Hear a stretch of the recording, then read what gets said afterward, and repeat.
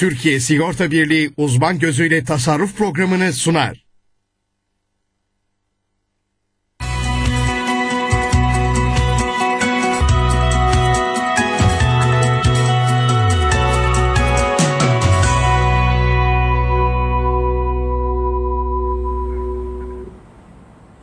Bir uzman gözüyle tasarruf programıyla daha karşınızdayız sevgili TRT Haber izleyicileri.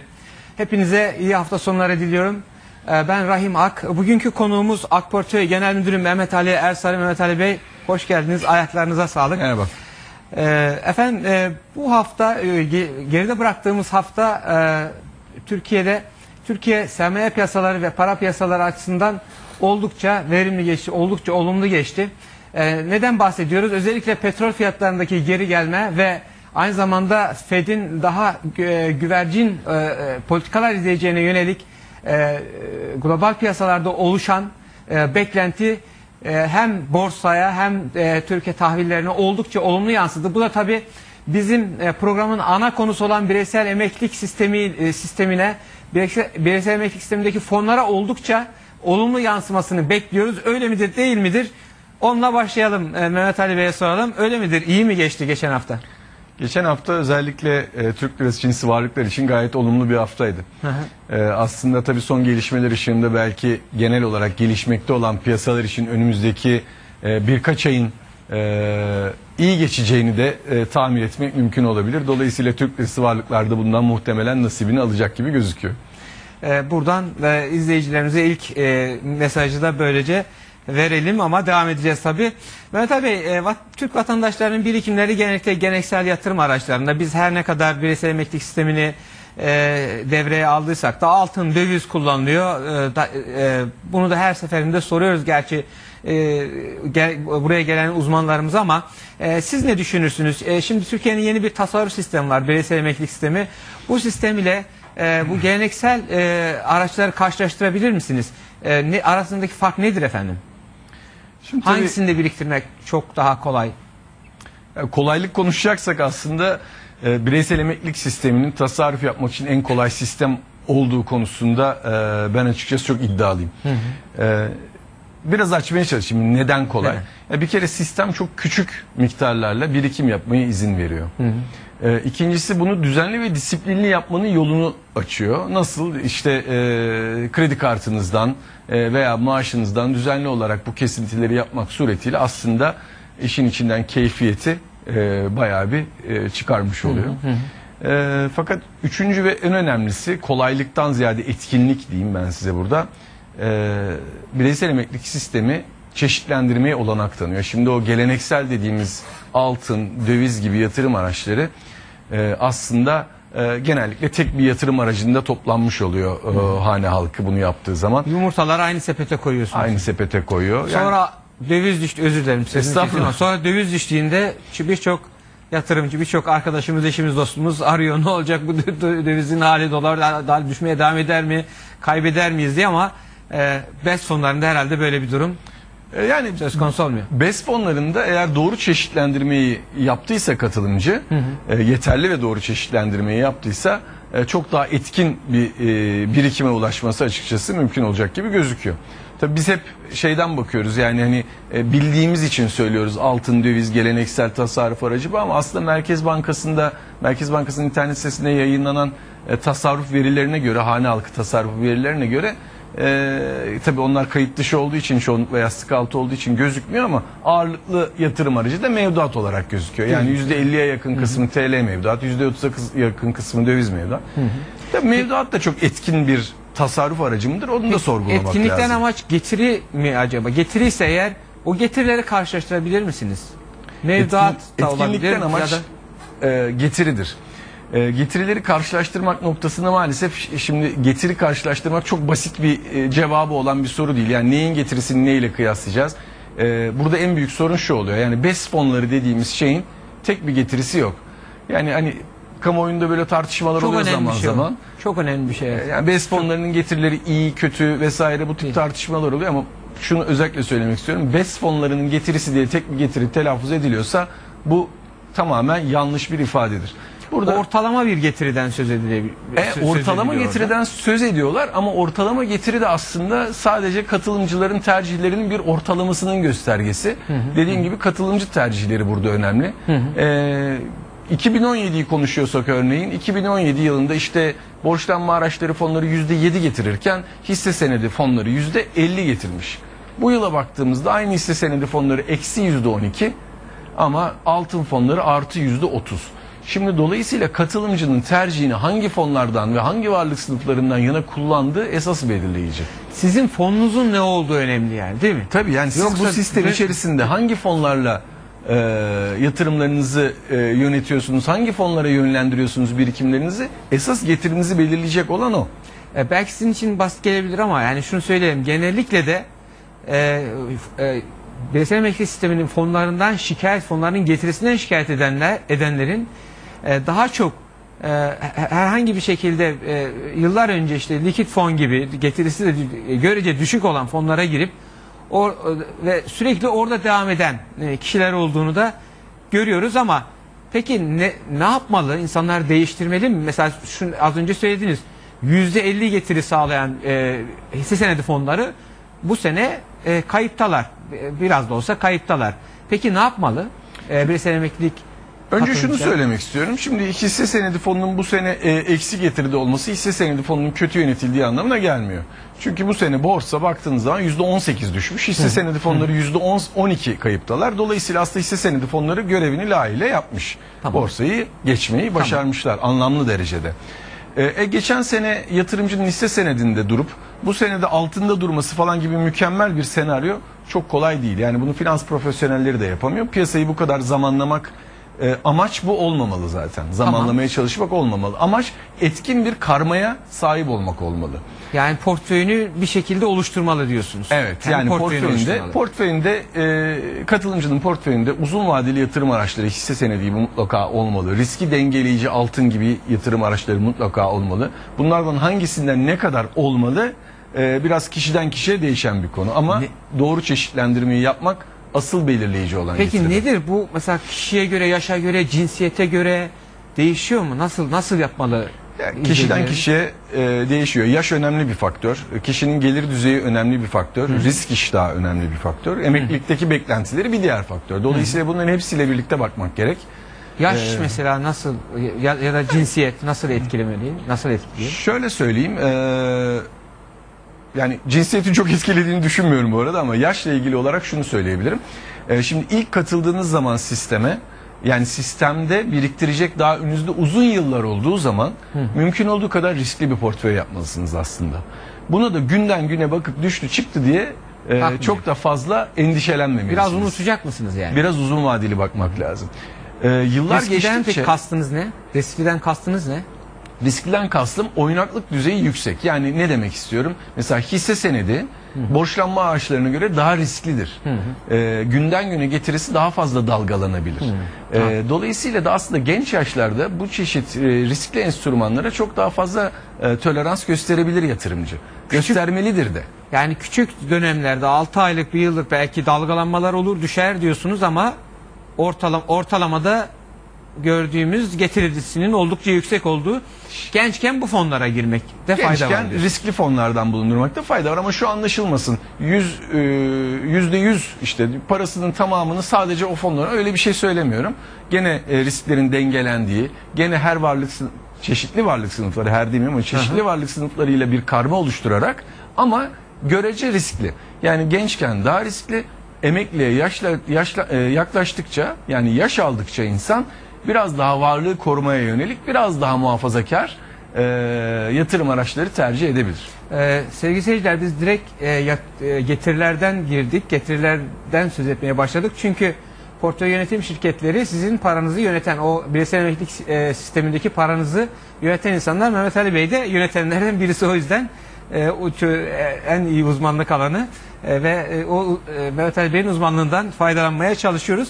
E, peki Mehmet Bey e, piyasanın şimdiki durumuna bakıldığında bir altın oran önerebilir misiniz e, izleyicilerimize? Aslında demin biraz konuştuk. Maalesef bir altın oran yok. Yani hani e, ben buradan bir altın oran söyleyeyim herkes bunu uygulasın diyebileceğim bir durum maalesef yok. Dediğim gibi bu kişiden kişiye değişen bir şey.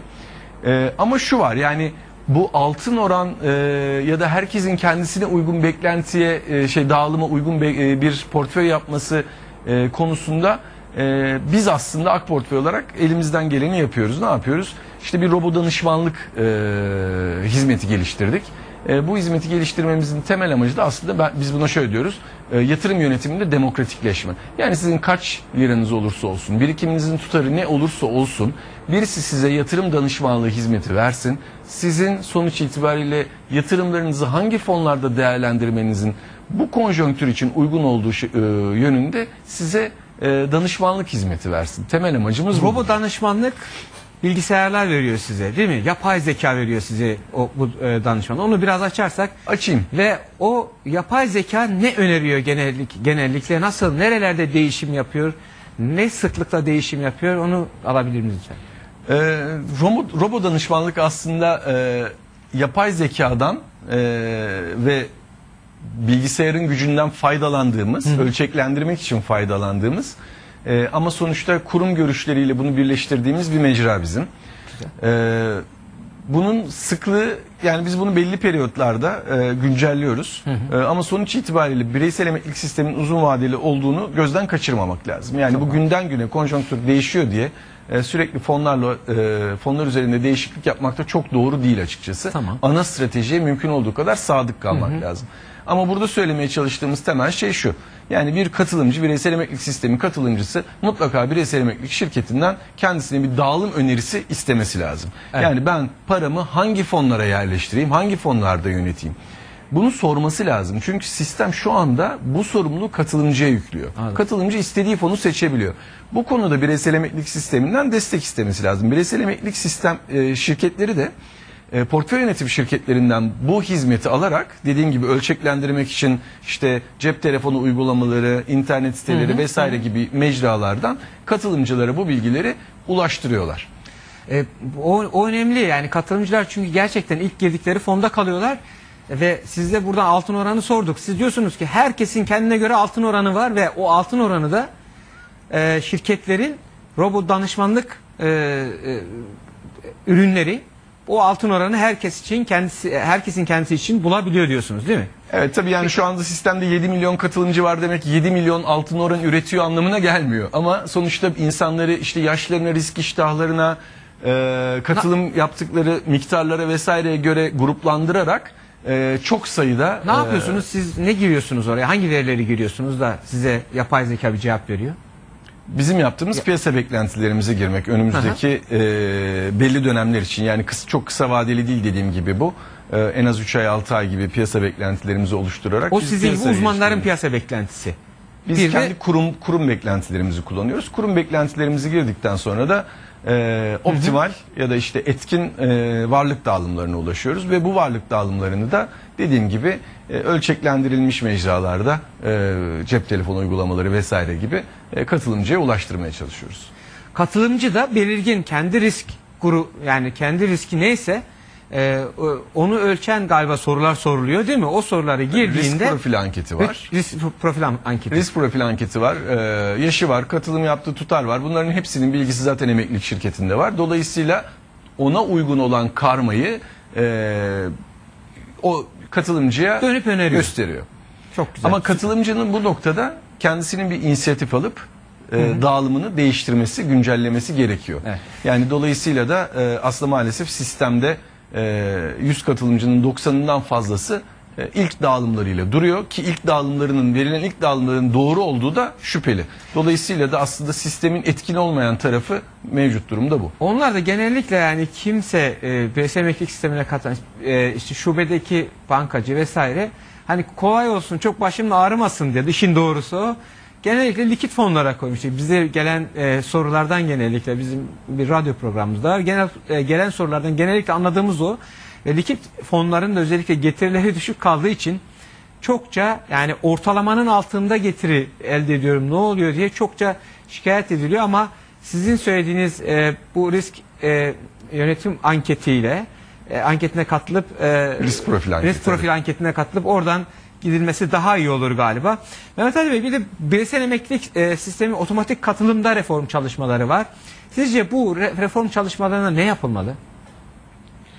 Ee, tabii bireysel emeklilik sistemi aslında e, 14 yıllık bir sistem. Ee, 14 yılda 7 milyon katılımcıya ve 86 milyar TL bir varlığa ulaştı. Aslında öncelikle bir geldiğimiz noktayı hep birlikte takdir etmemiz lazım. Yani hakikaten önemli bir iş yapıldı. Ee, burada işte hazine müsteşarlığı, SPK, emeklilik şirketleri, portföy yönetim şirketleri hepsi üzerine düşen görevi e, son derece başarılı bir şekilde yaptılar ve önemli bir yol aldık. Ee, ge- tarihi çok daha yeni bir otomatik katılım sistemi var. Otomatik katılım sistemi çok anlamlı çünkü şimdi biz bireysel emeklilik sistemi anlamında geldiğimiz nokta her ne kadar başladığımız noktaya göre çok yol almışsak da OECD ülkeler arasında baktığınız zaman ki 34 tane ülke var biliyorsunuz. Sonuncu yani emeklilik yatırım fonlarının gayri safi hasılaya oranı olarak baktığınız zaman sonuncu Yunanistan sondan bir önceki Türkiye. Türkiye, doğru. Dolayısıyla çok düşük. Çok. Ee, ortalaması 50. Ağırlıklı ortalama yaparsanız 133'lerde yani hakikaten e, gidecek çok yolumuz var. Vaktimiz çok sınırlı o yüzden bir toparlarsak. Dolayısıyla çok- otomatik katılım sistemi bu anlamda gerçekten çok önemli. Ee, çok yeni başladı ama çok hızlı bir şekilde 5 milyon katılımcıya ulaştı. Ee, 13 milyon katılımcıya ulaştı ama 5 milyonu şu an sistemde. Bu- Bunlar devam ederek artacak. Ee, 4 milyara ulaştı. Ee, çok daha hızlı bir ivmeyle büyüyeceğini tahmin ediyorum. Yapılması açıkçası. gereken var mı hiç? Yapılması gereken tabii bir kere sistemde kalmayı teşvik etmek için şunu yapmak lazım diye düşünüyorum. Ee, mesela işveren katkısı sıkça tartışılan bir şey ama sistemdeki e, kalıcılığı ciddi oranda arttıracağını düşündüğüm bir faktör. Ee, son bir dakikamız bir sorumuz var. Şöyle biz ve ben biraz pahalı cep telefonlarına takmış durumdayım biliyorsunuz. Paha- pahalı cep telefonları, pahalı tüketim malzemeleri yerine besin, e, e, o- onun yerine tasarrufun önemini belirtmeye çalışıyoruz. Bir e, 6-7 bin liralık e, 12 ay vadeli aldığımız bir cep telefonunu eğer dönüp 12 ay vadede BES'te değerlendirsek nasıl bir getiri elde ederiz? Ee, öncelikle şunu söylemek istiyorum. Aslında bireysel emeklilik sistemi o kadar güzel bir sistem ki e, bireysel emeklilik sistemi ufak miktarlarda tasarruf imkanı veriyor. Dolayısıyla da size dönüp başka harcamalarınızı yapmayın her şeyi buraya koyun hiçbir zaman demiyor. Yani dolayısıyla kişi geliri oranında istiyorsa bir yandan cep telefonu alıp istiyorsa bir yandan birikim yapabilir. Tabii ki şunu biliyoruz ne kadar çok tasarruf eder, ne kadar çok geleceğimize yatırım yaparsak ileride o kadar rahat edeceğiz. Dolayısıyla şunu söyleyebilirim. Bu hesabı çok hızlı yapmak Tamam. mümkün değil ama şunu söyleyebilirim. Ee, her zaman söylediğim bir şey var. 40 yaşında bir kişi doğru dağılımla %3 getiri elde ederse 56 yaşında ayda 250 lira yatırarak bugünün parasıyla 86-87 bin lira paraya ulaşabiliyor. Bugünün parası. Bugünün parası yani o gün Evet, daha 20 fazla olacaktır tabii o. Tabii 25 yaşındaki bir kişi yaparsa bunu 200 bin liraya aşkın bir paradan bahsediyoruz. Evet. Sadece ayda 250 lirayla. Dolayısıyla gerçekten etkin bir tasarruf yöntemi. Mehmet abi süremizin sonuna geldik. Yeniden ayaklarınıza sağlık. Çok sağ olun. Efendim bugünkü konuğumuz Akborsa'ya Genel Müdürü Mehmet Ali Ersarı'ydı. Gelecek hafta görüşmek üzere. Kendinize iyi bakın. Hoşçakalın.